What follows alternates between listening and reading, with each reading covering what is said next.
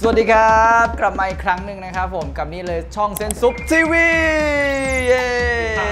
อันนี้ตัวมือทิป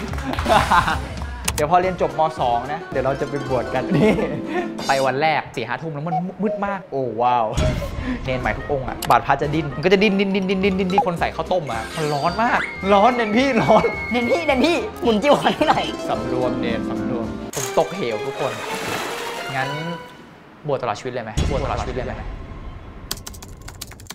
วันนี้นะครับเรามาในธีมของหนูน้อยร้อยเรื่องเล่าเพราะหลาย ๆ คนบอกว่าชอบมากนะครับ ผมกับการให้เล่าเรื่องนะครับ ซึ่งผมก็ได้คัดสรรเลือกสัตว์มาอย่างดีแล้วนะครับ ผมแบบสันๆเลย เป็นมหากราบการบวชของผม ตอนผมอยู่ประมาณม 2 ขึ้นม 3 อันนี้คือแบบครบทุกรสสนุกสงบด้วยเศร้าก็มี เราจะเริ่มต้นจากอะไรดีฮะ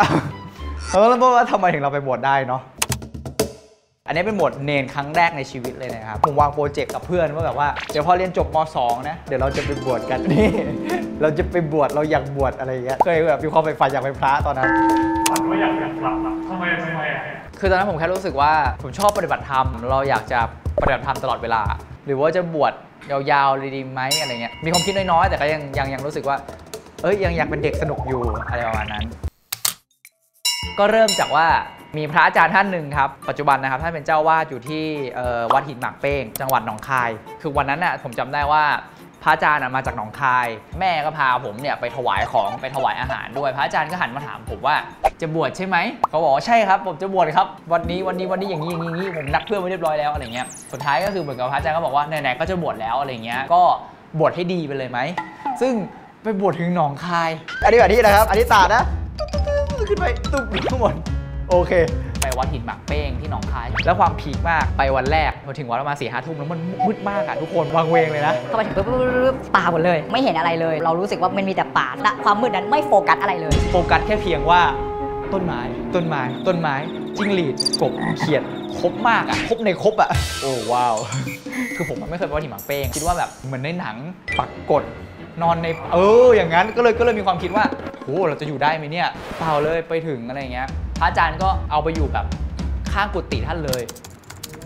สิ่งที่เกิดขึ้นก็คือว่าเป็นวัดป่านะครับ ปฏิบัติกันเคร่งมาก คุณไม่สามารถที่ไปถึงแล้วปุ๊บแล้วบวชได้เลย ต้องรอคิวพระอุปชาครับว่าพระอุปชาว่างหรือเปล่า แล้วก็เวลาบวชนะครับ จะต้องสวดเป็นภาษาบาคตต้องสวดบทให้ถูกต้อง แต่ว่าถ้าเป็นภาษาบาคตเนี่ยในสำเนียงของบาคตจะต้องแบบอย่างแบบนโมตัสสะ นะโมตัสสะบะกวะโตอะระหะโตสัมมาสัมพุทธัสสะ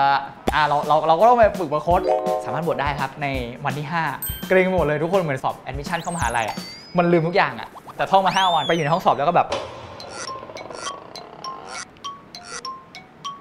แล้วคือที่นั่นนะครับ ผิดไปสักหนึ่งท่อน ต้องมานั่งท่องใหม่หมดเลยนะก็สวดจนจบผ่านผมได้ด้วยดี ได้เป็นเนรในครั้งแรกในชีวิตภาคภูมิใจมีผ้าเหลืองในที่สุดจะได้เป็นเนรกับเขาแล้วอะไรอย่างเงี้ยคือบวชโดยไม่บอกไม่บอกคุณพ่อตอนแรก อะไรเงี้ยก็โทรหาพ่อว่าถึงหนองคายแล้วครับเดี๋ยวจะบวชแล้วนะครับอะไรเงี้ยแล้วตอนนั้นนะพ่อก็รีบเคลียร์งานแล้วก็ตีรถมาหาตอนที่บวชเป็นเนรแล้วพ่อดีใจมากได้เห็นผ้าเหลืองพ่ออยากให้ผมบวชมากเออความแปลกใหม่ด้วยพอเป็นเนนใช่ไหมเราจะต้องเรียนรู้ศีลศีลทั้งสิข้อของเนน เราจะไม่สามารถนอนปกติได้ฟูกห้ามหนากันหกนิ้วอะไรเงี้ยต้องแบบรู้จักคุณค่า สบงอังสะผ้าไตรจีวร เราจะมีประมาณแบบแค่ชุดถึง 2 ชุดเองอะวัน 2 วันต้องซักแล้วอะครับเพื่อเรารู้สึกว่าได้เห็นคุณค่าของมัน ได้เรียนรู้การเปื่อยยุ่ยของมัน การเน่าเปื่อยของมันอะไรเงี้ยเรียนรู้เป็นธรรมะไปในตัวด้วยอะไรเงี้ยแต่ว่าในขณะนั้นอะมันมีปัญหาหนึ่งว่าเหมือนรับบาตรอะไรมาเสร็จละพร้อมหน้าพร้อมตาก็จะฉันกันใช่ไหมครับฉันมือเดียวเราจะจะหิวต้องไหมครับ เราไม่สามารถทานข้าวหลังเที่ยงได้ เราจะทานนมได้ตอนเที่ยง ทานพวกน้ำปานาครับ น้ำปานาก็คือน้ำที่แบบว่าเป็นผลไม้ เออแต่จะเป็นน้ำหวานได้น้ำอัดลมอะไรเงี้ย พอทานได้อะไรเงี้ย เนนบางองค์แบบหิวข้าวมาก สั่งข้าวเลยสั่งข้าวอะไรเงี้ย จะสั่งข้าวกัน เดนโองค์ยกหลังไม่ได้พระอาจารย์สอนไว้ว่าไม่ได้อะไรเงี้ย คือก็ช่วยๆกันนะครับแบบน่ารักเป็นมุมน่ารักอะไรเงี้ยก็พออันนี้เราเป็นเนรแล้วนะอะเราพร้อมแล้วเราได้อุปกรณ์ในการใช้แล้วเราได้บาทพระมาหนึ่งบาท อันเนี้ยเป็นสิ่งที่ต้องดูแลเลยนะ เพราะว่าถ้าไม่มีบาทพระเนี่ยจะไปรับบาทไม่ได้ เขาก็จะมีสายครับพระใหม่เนรใหม่ทุกองค์อะบาตรพระจะดิ้นมันก็จะดิ้นดิ้นดิ้นดิ้นดิ้นดิ้นดิ้นดิ้นดิ้นแล้วก็จะแบบเอ๊ยยังไงดีนะอะไรอย่างเงี้ยดิ้นมันแค่วางเฉยนึกถึงคนใส่ข้าวต้มอะครับใส่โจ๊กอะมันร้อนมากอะวันแรกๆผมจำได้ผมรับบาตรใช่ไหมแล้วแบบบีเบียร์สไตล์เนี่ยผมอยู่อย่างเงี้ยแค่ข้าวเหนียวนะผมยังแบบเงี้ยอย่างเงี้ยแล้วแบบเณรเณรพี่อยู่ข้างหน้าก็ถามเณรเณรเป็นอะไรอะเณรร้อนเณรพี่ร้อน สำรวมเณรสำรวม ถึงร้อนเณรต้องรู้สึกว่าไม่ร้อน เณรต้องใจเย็นๆ ของพูดอย่างนี้นะ ก็ยังเอาฝาบาตรอะอย่างเงี้ย แล้วก็รับของโยมจนอยู่ประมาณอย่างนี้เลยอะเราก็จะเริ่มหิ้วถุงนะครับ เราต้องรับ เพราะว่าโยมเตรียมแล้วเขาตั้งใจอะเราจะทำลายความตั้งใจเขาไม่ได้ อันนี้ความรู้สึกผมนะตอนนั้นนะ แรกๆ จะไปท่านี้ก่อน ผมจีวรแน่นๆพอมาท้ายๆเนี่ยจีวรหลุด จีวรเริ่มหลุด เน้นพี่เน้นพี่เน้นพี่หมุนจีวรให้หน่อยอยู่นอกวัดไม่สำรวมไม่ได้ด้วยไงก็จะแบบเน้นพี่ช่วยด้วยเน้นพี่อะไรเงี้ย แต่หลังๆก็เริ่มแบบ professional ขึ้นสำรวมอยู่นิ่งๆ แล้วก็ค่อยแบบ balance น้ำหนักให้ดี เริ่มแบบโอเค แบบนี้นะ อันนี้ถุงนะ โอเค อันนี้นะเอาได้แล้วอ่าโอเคคิดดูเราต้องเดินตั้งแต่แบบเออตีสี่ตื่นใช่ไหมครับ ประมาณตีสี่ครึ่งรวมแล้วตีห้าออกออกเดินแล้ว ประมาณแปดโมงเนี่ยก็จะเริ่มแบบเอาอาหารเนี่ยไปรวมกันแล้ว พระเณรก็จะเริ่มแบบตักกระจายก็ถวายถวายถวายถวาย ก็จะเริ่มแบบได้ทานครับ ทานเสร็จปุ๊บปัญหาต่อไปก็คือว่าเราจะต้องเริ่มเรียนรู้ เรียนรู้การพิจารณาอาหาร ผมอะมีโอกาสได้เจอพระอาจารย์องค์หนึ่ง เป็นครูบากบที่นู่นจะเรียกพระว่าครูบา อันนี้เป็นเป็นบาทใช่ไหมครับ ท่านคนทุกอย่างเข้ากันหมดเลย ตักน้ำซุป ตักไอติม อยากกินอะไรตักตักตักตักแล้วเราจะลดความอยากของเราด้วยกันคนทุกอย่าง ตักอาหารเสร็จเราจะไม่มองเราจะปิดก่อน แล้วก็เปิดแล้วก็พิจารณาอาหาร แล้วก็ทานที่พิจารณาอาหารก็คือว่าอาหารมีเพียงแค่เพื่อประคองชีพของเรา ปัญหาต่อไปคือการล้างบาตรคือทานเสร็จปุ๊บเราต้องเอาบาตรไปล้างอะไรอย่างเงี้ยแล้วก็ก็ต้องฝึกล้างบาตรนะผมว่าผมก็ฝึกล้างบาตรของผมไป ทุกวันทุกวันอะไรเงี้ยจนแบบเริ่มโปรเริ่มปกติล้างจานเราจะล้างอย่างเงี้ยเราบาตรอะเราจะต้องแบบมันเขาจะมีเทคนิคนะในการล้างที่จะทำให้แบบบาตรสะอาดอะไรเงี้ยผมก็คนพบว่าเออเราก็กินเก่งเหมือนกันเนาะแล้วตอนนั้นเช้าอะบินบาตเสร็จใช่ไหมเราจะไม่ทานข้าวเลยนะครับต้องไปทำวัดเช้าก่อน ก็จะไปสวดมนต์งานนั่งสมาธิแป๊บหนึ่งแล้วก็ขึ้นไป ขึ้นไปอยู่อยู่ในวัด ตอนเย็นเขาก็จะมีตารางอะนะครับว่าองค์นี้ไปรับผิดชอบตรงนี้อะไรอย่างเงี้ยนึกถึงว่าทุกคนเนี่ยจะรับผิดชอบทำแค่เฉพาะอาณาจักรตรงเนี้ยข้างหลังจะไม่มีใครไปเลยนะผมก็เลยแบบนั่งกวาดกับพระอาจารย์แล้วก็เป็น skill ต่อไปครับ skill การกวาดไม้กวาดนะครับมันจะเป็นทางยาวๆอย่างนี้ยาวมากถนนใหญ่อย่างเงี้ยเราจะกวาดทีเดียวได้หมดเลยแรกๆผมไปผมกวาดไม่เป็นเลยนะผมผมกวาดธรรมดาแล้วหลังๆก็กวาดอย่างนี้พื้นที่เป็น10ไร่อะแล้วเราทำอย่างเงี้ยทุกวันอะโอ้โหกล้ามขึ้นไงแขนนี่คือเรียวแบบ ตอนนั้นคือสุขภาพดีมากตอนนี้คือไม่มีแล้วตั้งกลับมาเล่นใหม่ เรามานั่งพิจารณากับตัวเองครับการทำความสะอาดห้องน้ำหรือการล้างทำความสะอาดพวกนี้มันคือการที่มานั่งขัดเกลาใจว่า ที่เราบอกว่ามันสวยงามมันสวยงามจริงหรือเปล่า เราได้ขัดเกลามันจริงหรือเปล่า เราได้เรียนรู้มันจริงหรือเปล่าเนี่ยมันคือธรรมะแบบทุกอย่างมันอยู่ในธรรมะหมดเลยครับนี่ก็เป็นปรัชญาหนึ่งใช่ที่เราเรียนรู้อะไรเงี้ยก็สนุกมาก กลับมาก็ต้องอาบน้ำครับคือด้วยความว่าวัดอะติดกับตรงแม่น้ำโขงฝั่งตรงข้ามคือลาวใช่ไหมครับเนนพี่อยากอาบน้ำ แบบนี้กันไหมอะไรเงี้ยสิ่งที่เกิดขึ้นคือมันต้องปีนเขาเป็นก้อนหินมันต้องปีนปีนปุ๊บอะไรเงี้ยแล้วเราเป็นเหวอย่างนี้เลยนะเป็นเหวลงไปเลยนะผมเคยอยู่วันหนึ่งผมตกเหวทุกคน ตรงเนี้ยขูดหมดเลยแผลเวอะเลยนะขาคือแต่ผมอะสัญชาตญาณอะไรไม่รู้พอแบบตกโคตรตัวอย่างเงี้ยฮึบทุกคนคิดว่าพอเวอะแล้วจะขึ้นไปทำแผลไหมครับเพิ่งถึงไง ไม่เป็นไรเนนพี่ไปต่อได้ครับ อยากเล่นน้ำอะเขาที่เป็นเหวเนี่ยก็ต้องปีนขึ้นมาเพื่อกระโดดลงไปในน้ำก็กระโดดตุ้ม ก็ปีนขึ้นมาใหม่ตุ้มแล้วก็เล่นน้ำอยู่ตรงนั้นอะอารมณ์เนนอะเนนเนนน้อยอะไรเงี้ยสิบเอ็ดสิบสองแล้วเด็กเนาะถือว่าเด็กผมอะไม่ได้ไปทำวัดเย็น พระอาจารย์บอกว่าไม่ต้องมาทำวัดเย็นอยู่ทำแผลไป ทุกคนก็ตกใจแบบสบงมีเลือดเราคิดว่าอาบน้ำไม่เป็นไรหรอกคนเป็นคนอะไรเงี้ยแสบเฮ้ยแสบไม่รู้สึกผิดละฉันทำอะไรลงไป พระอาจารย์ก็เอากล่องยามาให้อะไรเงี้ยมารักษาให้อะไรเงี้ยแล้วผมก็ไม่เป็นไรครับอาจารย์เดี๋ยวผมทำเองก็ตั้งทำตั้งทำแผลตัวเองก็ทำไปเรื่อยๆทำเสร็จแล้วใช่ไหมถ้าพักอยู่วันเนี้ยไม่เป็นการไม่ชนะใจตัวเอง ทั้งที่เป็นอย่างเงี้ยเราต้องไปสวดมนต์ก็ก็จะดื้อไปพระอาจารย์เห็นพระอาจารย์ก็ไล่กลับไปแบบไปพักอะไรเงี้ยผมเป็นเรื่องแปลกมากทุกคนผมเหมือนแบบบุคคลผู้ดูดแมลงอะ่ะ ก็ปูอะปูนั่ง เวลานั่งสมาธิใช่ไหมเขาจะปิดไฟ เฮ้ย เราไม่รู้เราไม่รู้ว่ามีอะไรอยู่ข้างๆกายเรา เคยเห็นไหมกิ้งกือ เป็นสิบสิบตัว มาที่เซนคนเดียวมาที่ผมคนเดียวมดอะล้อมรอบอาสนะผมกิ้งกือเต็มอาสนะผมเลยผมก็แบบ เอาแล้ว ผมอันนี้เป็นอาสนะนะ แล้วผมนั่งอยู่นะ เปิดไฟปุ๊บสักพักเนี่ยพี่ก็แบบเนนเนนนู่นู่นู่ดูอะไรเนี่ยพี่กลับพระเสร็จก่อนกลับหนึ่งกลับสองจังหวะกลับสามนี่แหละเนนเนนเนนเนนดูดูกิ้งกือแล้วก็กระโดดดึงแล้วก็แบบอยู่อย่างเงี้ยก็ โดดทำไมวะ คือเราไม่ได้กลัวนะ แต่เราตกใจในจังหวะที่แบบนั่งอยู่แล้วแบบล้อมรอบตัวเราอะเยอะมากอะเข้ามาในอาสนะแล้วค่อย ๆ แบบสะบัดน้องอะไรเงี้ย ผมโดนเกือบทุกวันเลยนะ น้องเหมือนรู้รู้งานอะถ้ากลึบมันต้องมองแล้วใช่ไหมไม่กลึบอันนี้ผมนั่งใช่ไหมพอจังหวะกราบเนี่ยน้องอื่นบอกว่าน้องร้องอย่างเงี้ย พอเสร็จแล้วปุ๊บน้องก็ไปอยู่ข้างๆ เราก็ไม่รู้ไง พอตื่นนอนมาน้องตอมน้องเยอะมาก แมงวีแมงวันแมลงพึ่งพึ่งพึ่งตอนแรกผมไม่รู้เลย เนนก็ถ่ายแมลงเต็มเลย พอรู้ปุ๊บ แบบอารมณ์แบบยึบปุ๊บปุ๊บปุ๊บปุ๊บปุ๊บอะไรเงี้ยหรือแมลงชอบเด็กก็ไม่รู้น้องอาจจะรู้สึกว่าเลือดอร่อยหรือเปล่า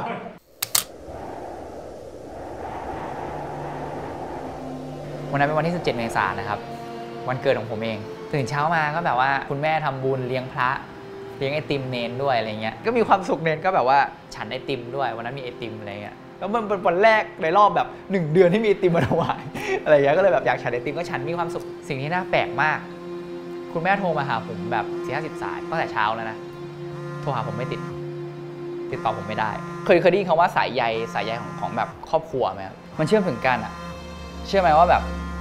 แม่โทรหาผมไม่ติดเลยนะคุณพ่อผมปั๊มหัวใจอยู่ที่โรงพยาบาล คือในวันนั้นคุณพ่อผมทำงานหนักมากอะไรเงี้ยก็มาหาผมเสร็จปุ๊บก็เหมือนมาพักที่ผมแหละอะไรเงี้ยแล้วก็กลับไปกรุงเทพก็มาทำงานต่ออะไรเงี้ยก็ลงไปทำงานที่ใต้แล้วก็กลับมาที่กรุงเทพอะไรเงี้ยแล้วอยู่ๆคุณพ่อก็เหมือนกับแบบจุกอกอะไปปั๊มที่โรงพยาบาลตอนช่วงเวลาที่คุณแม่โทรมาแล้วโทรศัพท์ผมไม่มีเบอร์ขึ้นไม่ได้เบอร์เดียวเลยนะณเวลานั้นผมก็นั่งล้างบาตรอยู่ คือเวลาเดียวกับที่คุณพ่อเสีย คุณพ่อเสียนะตอนนั้นเลย แล้วผมร้องไห้คือร้องไห้จนแบบหยุดร้องไม่ได้ไหมเราไม่มีสาเหตุด้วยยังรับโทรศัพท์เพื่อนๆที่แฮปปี้เบ t ร์เดย์อยู่เลยก็เลยแบบ ถ้าไปคุณแม่โทรไม่ติด แล้วเวลาที่คุณแม่โทรคือเวลาที่ไม่มีใครโทรเลยนะครับ เพราะมันคือหกโมงเช้า ในขณะที่ที่ล้างล้างบาตรอยู่อะก็ร้องไห้ ร้องไห้แบบฟูมฟายแบบจนเณรทุกองค์ก็ถามว่าเป็นไรนี่ก็ เป็นไรไม่รู้แบบเศร้ามากอะไรเงี้ยร้องไห้อะไรเงี้ย สักพักพระอาจารย์ก็แบบบอกเณรจอยล้างบาตรให้เณรเซนหน่อย พระอาจารย์ต้องคุยกับเณรเซนด่วน ก็ตกใจละ เกิดอะไรขึ้นอะไรเงี้ย ก็ไปปุ๊บ หนูรู้แล้วใช่ไหมลูก แม่ติดต่อหนูได้แล้วใช่ไหมลูก ไม่รู้อะไรเลยครับก็บอกว่าไม่รู้อะไรเลยครับ ก็ร้องไห้ร้องไห้ร้องไห้ ฮะไม่หยุดร้อง ร้องเป็นชั่วโมงอะ พ่อหนูเสียแล้วนะลูกเซนก็แบบหยุดร้องไปชั่วหนึ่งพระอาจารย์ว่าไงนะครับ พ่อหนูเสียแล้วนะลูก จริงๆเหรอครับพระอาจารย์ก็เนี่ยก็รีเช็คกับพระอาจารย์ตลอดเวลาจนจนกระทั่งแบบเข้าใจว่าคุณพ่อเสียแล้วอะในในใจผมตอนนั้นก็คือแบบช็อกช็อกไปเลย ผมตัวแดงแล้วไข้ผมขึ้นขึ้นขึ้นขึ้นขึ้นขึ้นขึ้นขึ้นขึ้นขึ้นขึ้นจนน่าตกใจจนแบบเพราะมันช็อกเลยร่างกายมันมันแบบอาการออกมาหรือว่าอะไรอะ พระอาจารย์ก็ก็แบบเดี๋ยวหนูหนูกลับกรุงเทพเลยนะลูกอะไรเงี้ยหนูมากรุงเทพก่อนอะไรเงี้ยเพราะว่ามันมีที่กรุงเทพนะตอนนั้น ไม่ได้สึกครับไม่ได้สึกครับก็มาทั้งที่เป็นเนนซึ่งพยายามจองตั๋วเครื่องบินแล้วครับวันนั้นเป็นวันที่ 17 เมษายนไม่มีตั๋วเครื่องบินไหนเปิดแบบขายให้เลย ก็สุดท้ายก็คือนั่งรถครับกลับมากรุงเทพอะไรเงี้ยแล้วจากที่คุณพ่อเสียผมก็ไม่ร้องไห้อีกเลย เพราะผมรู้สึกอย่างเดียวว่า ถ้าผมร้องไห้ แม่ผมจะต้องร้องไห้ผมต้องแข็งแรงที่สุดให้แม่ผมเห็น เราต้องโฮแม่เราให้ได้มากที่สุด เราต้องโฮครอบครัวให้ได้มากที่สุด ในหัวณตอนนั้นคือแบบเออเราเราไม่ได้จริงๆอะทุกอย่างมันมันมันมีอยู่แค่นี้แหละสุดท้ายเป็นเท่าฐานสุดท้ายเป็นดิน ก็รู้สึกว่าโอ้ทุกอย่างมันมันมันเป็นธรรมชาติของมนุษย์มากเรียนรู้แบบเกิดตั้งอยู่ระดับไป ความรู้สึกที่แบบวันหนึ่งที่อะไรมันหายไปแล้ว แล้วเราเคยรู้สึกมันเป็นสิ่งสำคัญมันเรียนรู้เยอะมาก จนมีความรู้สึกว่าแบบชีวิตเราแค่นี้งั้นบวชตลอดชีวิตเลยไหมอยู่ยาวเลยไหมกลับมาช่วงสุดท้าย ผมอะอย่างที่บอกตัดสินใจโทรบอกแม่นะจากบวตลอดชีวิตล้วนะตอนนั้นแม่ครับเดี๋ยวผมจะแบบบวชตลอดชีวิตแล้วนะครับ ผมศึกษากศนแล้ว แล้วก็เราสามารถเรียนปรตีของแบบว่ามหาวิทยาลัยแบบมหาจุฬาลงกรณ์ได้ เซนว่าได้ครับแม่ แบบการเรียนไม่เสียทุกอย่างได้ครับแม่ ดูทุกอย่างเป็นแพทเทิร์นทั้งหมดนะเพราะรู้สึกว่าถ้าเราจะออกตรงเนี้ยเรื่องการเรียนที่ครอบครัวคาดหวังต้องทำให้สำเร็จ แล้วก็ดูแบบเอ้ยต้องมีแบบนักธรรมเป็นนักธรรมตรีโทเอก เรียนประโยคหนึ่งประโยคสองประโยคสามอะไรเงี้ยจนถึงแบบนักธรรมแบบเก้าประโยคอะไรเงี้ย ศึกษาหมดแล้ว เราก็ตั้งใจว่า เออ จะบวชอะไรเงี้ย เป็นเรื่องแปลกมากกำหนดเนี้ยที่เคยคิดว่าจะศึกอีกวัน 2 วันจะต้องเปิดเทอม แต่ก่อนหน้าวันนั้นวันหนึ่งพระอาจารย์นักสมาธิท่านอาจารย์พูดมาคำหนึ่งว่า ณตรงเนี้ยคิดว่าใครเป็นต้นไม้บ้างทุกคนก็จะจะคิดว่าอะคงมาโคหมายครูบาอาจารย์องค์นี้องค์นี้อะไรใช่ไหมพระอาจารย์ก็เดินมาที่ผม แล้วก็พูดว่า ตรงเนี้ยพระและเนนทุกรูปเป็นนกหมดเลย เนนองค์เนี้ยที่นั่งอยู่เป็นต้นไม้ และการเป็นต้นไม้ไม่จำเป็นต้องเป็นต้นไม้ในร่มของแบบเป็นสงอยู่ในผ้าเหลืองการเป็นคนปกติก็สามารถเป็นต้นไม้ได้พูดแค่นี้เลย เทศวันนั้นจับใจความแล้วรู้สึกว่า เข้าใจละแล้วพระอาจารย์พูดมาคำหนึ่งว่า เชื่ออาตมานะ ถ้าเนนเป็นคารวาสวันหนึ่งเนนอาจจะเป็นคนที่แบบได้ช่วยเหลือคนอื่น มากกว่าที่เนนเป็นพระก็ได้ หรือเป็นเนนก็ได้ ก็